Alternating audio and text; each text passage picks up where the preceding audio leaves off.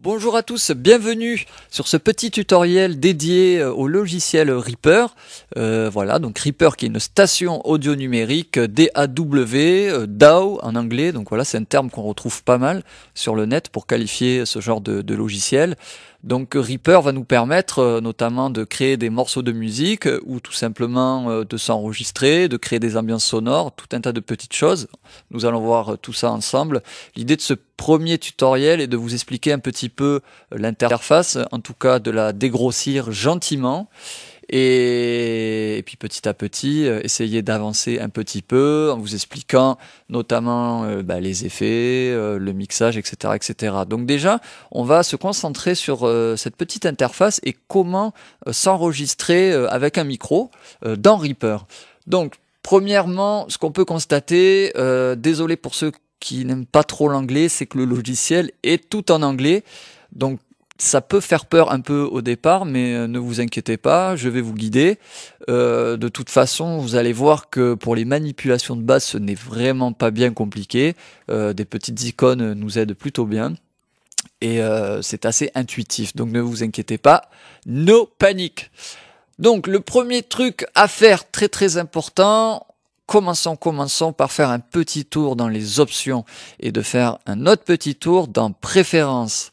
Voilà, alors très important, c'est simplement pour vérifier que votre carte son est bien configurée. Donc si vous utilisez une carte son externe, ça se passe ici.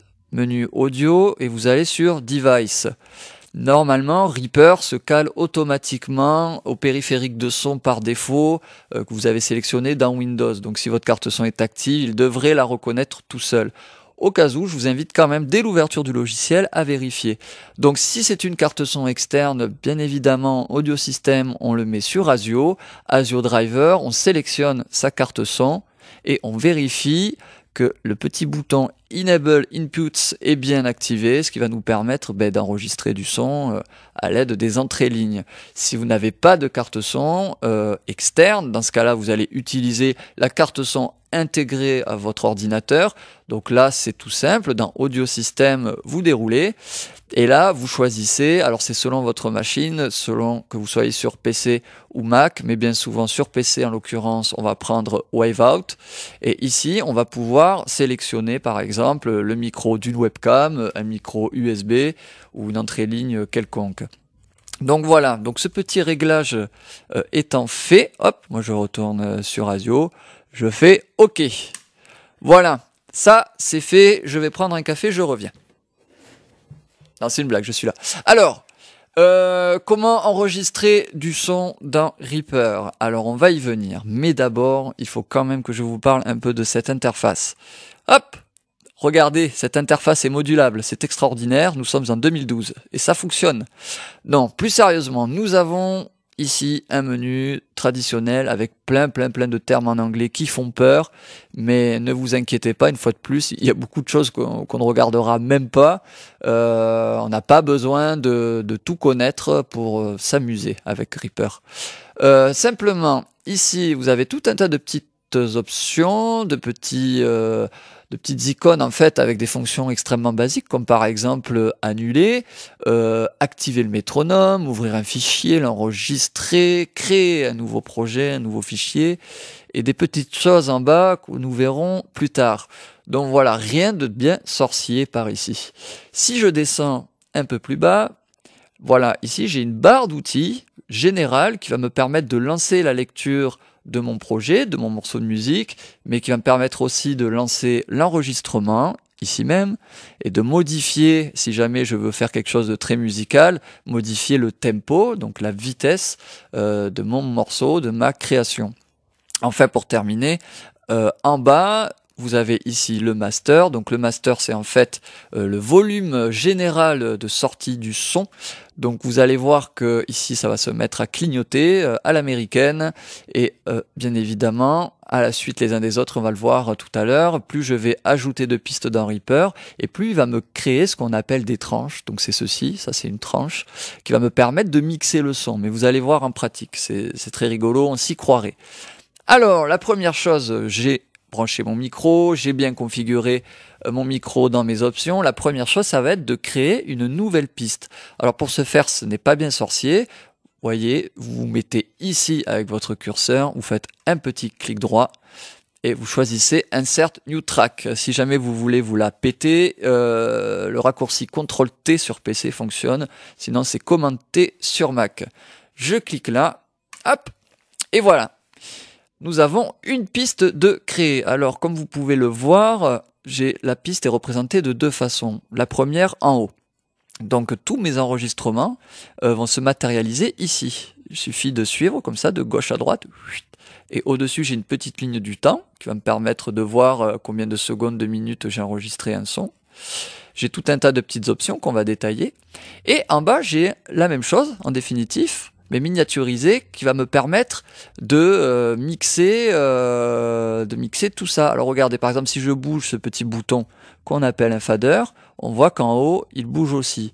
Donc c'est un rappel et vous allez comprendre euh, assez rapidement pourquoi c'est très utile. Et c'est une des forces de Reaper, c'est que combien même euh, on peut avoir 50 euh, pistes à la fois, le logiciel reste tout à fait lisible. Donc ça c'est plutôt très chouette. Alors la première chose à faire pour s'enregistrer, ça va être d'armer une piste. Alors on va armer la piste, ne vous inquiétez pas. armer, c'est simplement faire cette petite manipulation. Ici, là, vous avez le petit symbole euh, enregistré, Record Arm. Je clique dessus une fois. Et normalement, si votre micro est bien configuré, vous devriez voir euh, les petits vumètres là s'exciter dans tous les sens. 1, 2, 1, 2, 1, 2, 1, 2. Donc là, ça fonctionne. Et à partir de là, je peux déjà m'enregistrer très simplement. Alors regardez, c'est pas sorcier, ça ressemble à, à Audacity ou n'importe quel magnétophone. Il suffit d'appuyer sur enregistrer. Et là, l'enregistrement décolle. Coucou je fais stop. Et quand je fais stop, il me demande que faire de ce fichier audio. Est-ce que l'enregistrement me satisfait ou pas? Je peux d'ores et déjà lui dire. Alors moi, je, vais lui dire que je suis très content de moi. Donc je vais cliquer ici sur Save All. Donc je sauvegarde. Hop, voilà. Et maintenant, pour écouter, ben, c'est pas bien compliqué. C'est comme tous nos petits lecteurs MP3. Je clique ici pour revenir au début et je clique sur le petit symbole lecture. Enregistrer. Et là, l'enregistrement décolle. Coucou alors maintenant que mon son est enregistré, je vais déjà pouvoir faire quelques manipulations euh, assez basiques. La première, ça va être de redimensionner ce petit enregistrement. Alors pour ce faire, c'est très simple. Si je me mets par exemple à droite de l'enregistrement, vous voyez mon curseur change de forme. Si je laisse cliquer avec le bouton gauche de la souris et que je déplace la souris, hop, je vais pouvoir redimensionner la taille de mon objet. Voilà. Donc si je continue vers la droite, en fait, ce qu'il fait, c'est qu'il me prend le même son, il me le joue en boucle. Donc voilà, donc on peut aller comme ça euh, très très très très très loin. Donc par exemple, moi je veux réduire et je vais enlever euh, le tout dernier mot que j'ai dit là, j'ai dit coucou, donc je veux enlever ça. Alors comme vous pouvez le voir, là il m'enlève bloc par bloc. En fait, euh, il calcule euh, au niveau des, des, mesures. Alors bon, là on n'est pas en train de faire un morceau de musique, donc moi je veux pouvoir vraiment découper de manière extrêmement précise. Alors la chose à faire en fait, c'est d'aller par ici, là, sur le petit euh, aimant, le snap, et le désactiver. Donc je clique dessus. À partir de ce moment-là, euh, quand je vais redimensionner mon objet, il ne va plus se caler automatiquement sur les mesures, et je vais pouvoir voilà, être vraiment beaucoup plus précis. Et voilà, hop, manger, découper euh, des petits bouts de son qui me plaisent pas. Je peux faire ça à la fin et au début de mon enregistrement. Voilà, si bien je peux garder que le milieu, par exemple. Je vais lancer la lecture. Et là, l'enregistrement décolle. Voilà. Donc je peux bien évidemment cliquer sur cet objet avec le clic gauche, le déplacer où je veux. Hop, j'ai créé une autre piste sans faire exprès. C'est revenu. je peux donc euh, cliquer sur l'objet et le déplacer de gauche à droite. Donc je le mets où je veux euh, dans le temps. Donc là, par exemple, je vais le mettre au tout, tout, tout, tout, tout début. Donc ça, c'est une autre des manipulations un petit peu de base. Et enfin, pour terminer, je vais pouvoir m'amuser à faire ce qu'on appelle euh, des fondus, donc toujours avec ma souris. Alors une fondue, en fait, c'est euh, faire venir ou partir le son progressivement. Donc là, c'est assez simple, toujours pareil. Là, je suis sur mon enregistrement, je mets ma souris en haut à droite du petit rectangle. Vous avez vu, le curseur prend une nouvelle forme. Je laisse cliquer sur le bouton gauche comme j'ai fait tout à l'heure et je déplace la souris vers la gauche. Et là, vous voyez, il me fait un fade out, donc une fondue de sortie. Donc là, ça veut dire que concrètement, le son va s'éteindre progressivement jusqu'à la fin. Alors, je vais vous faire écouter. ce sera plus parlant. Et là, l'enregistrement décolle. Voilà, le son s'éteint progressivement. Et je peux faire le contraire, je peux le faire euh, naître progressivement, ce son. Donc là, cette fois-ci, je vais en haut à gauche, je laisse cliquer comme ça, hop, et je déplace. Donc ça me génère une jolie petite courbe. Et donc là, je peux m'amuser, voilà, faire venir le son progressivement, le faire repartir. Donc ça peut déjà donner des idées d'effets. Alors on va écouter. Et là, l'enregistrement décolle. Donc voilà, donc ça déjà, c'est, ce sont des, des, manipulations euh, euh, qui sont tout à fait intéressantes. Une autre petite manipulation, ça va être par exemple de diviser ce petit euh, enregistrement en différents fragments. Alors par exemple, je vais prendre, je clique par ici, hop, je me mets à l'endroit où je veux écouter, je lance la lecture. Voilà, là on entend colle, et je veux garder que le mot colle. Donc ici, avec mon curseur, ma barre de lecture que vous voyez par ici, alors en fait, pour la déplacer, j'ai juste à cliquer euh, où je veux, en fait, hein, sur mon événement. Donc je vais cliquer par exemple euh, ici, hop, et là, je vais appuyer sur la touche S de mon clavier. Hop là Et vous avez vu, il m'a découpé tout simplement euh, mon petit enregistrement. Il me désolidarise ce petit extrait du reste. Regardez, hop là voilà, et du coup, je peux m'amuser à euh, découper en petits fragments mon enregistrement. Donc ça, c'est plutôt sympathique et ça nous permet euh, de faire un peu n'importe quoi. Alors maintenant, je vais reprendre la manipulation de tout à l'heure, et là, je vais déplacer les sons, euh, je vais les mettre un peu les uns sur les autres, dans n'importe quel sens, et du coup, je pense que ça va faire un, petit résultat un peu étonnant. Voilà, alors je vais mettre ça là, là, comme ça, je fais n'importe quoi. J'écoute. Et là, l'enregistrement Voilà. Donc ça, ce sont des, premières petites manipulations de base qui, vont nous permettre euh, euh, bah, de s'amuser avec le son, de le découper, de le, de le, mettre dans tous les sens. Donc maintenant que nous avons vu ça, il faut quand même que je vous parle euh, de cette petite barre d'outils, donc de, ce qu'on appelle une tranche. Donc comme je vous l'ai dit tout à l'heure, ici et ici nous avons sensiblement les mêmes options. C'est juste pour une question de visibilité, hein, si, cela apparaît en deux fois. Donc la première chose que, que je peux faire, c'est bien évidemment baisser ou monter le volume de la piste. Donc ça, c'est à votre goût. Euh, on peut mettre plus fort, moins fort, etc. Enfin, hop, où il y a écrit center. Alors là, c'est intéressant, c'est pour s'amuser avec la, stéréo. Donc c'est-à-dire que je vais pouvoir envoyer le son euh, de mon enregistrement complètement vers la gauche, donc euh, ce qu'on appelle en anglais le pan, ou au contraire complètement vers la droite. Donc là, on est déjà en train de s'amuser avec la spatialisation du son. Donc ça, c'est très intéressant quand on a euh, plusieurs pistes superposées. Et enfin, euh, on va voir ceci un peu plus tard, FX, on va pouvoir mettre des effets sur le son. Voilà, pour s'amuser euh, un petit peu à déformer tout ça. Donc, les opérations que je viens euh, d'effectuer, je peux bien évidemment euh, les répéter sur une nouvelle piste. Parce que bien évidemment, c'est tout l'intérêt du logiciel, je vais pouvoir superposer mes enregistrements. Donc si je veux créer une nouvelle piste et enregistrer euh, quelque chose d'autre par-dessus cet enregistrement, je refais un clic droit dans cette zone et je refais Insert New Track.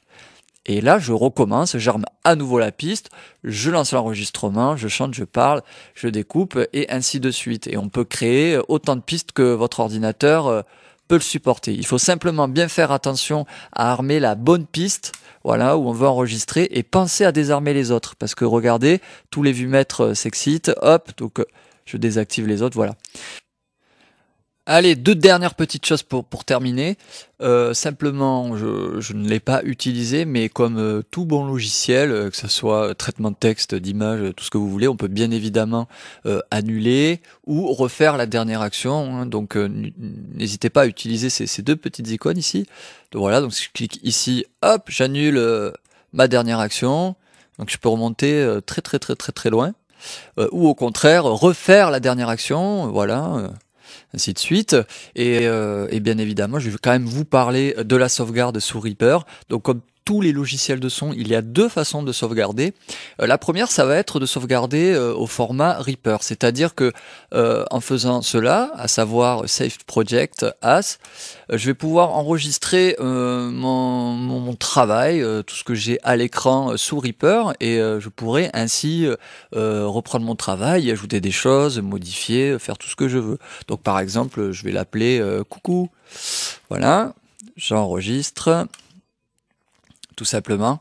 Euh, la deuxième façon d'enregistrer euh, consiste en fait à exporter le son, c'est-à-dire sortir le son de Reaper afin que je puisse l'écouter avec n'importe quel lecteur audio, que ce soit VLC, Windows Media Player, QuickTime, euh, votre lecteur MP3 et j'en passe. Dans ce cas-là, nous irons plutôt dans File et on va faire Render ou Render pour parler bien français. Hop là, et là j'ai une, espèce de fenêtre là un peu, un peu spatiale qui, fait un petit peu peur. Et, euh, et, ici je vais pouvoir choisir le format d'enregistrement.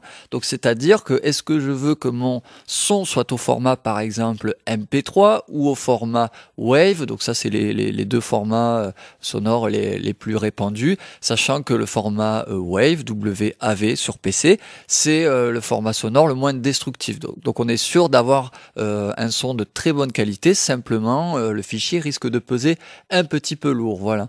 Donc si vous voulez un fichier plus léger, notamment pour l'envoyer sur le net ou mettre sur votre lecteur MP3, euh, ici là dans Output format, vous choisissez MP3 tout simplement. Donc moi je reste sur Wave, hop. Donc euh, il y a tout un tas d'options. pour l'instant, je, n'ai pas vraiment besoin d'y toucher.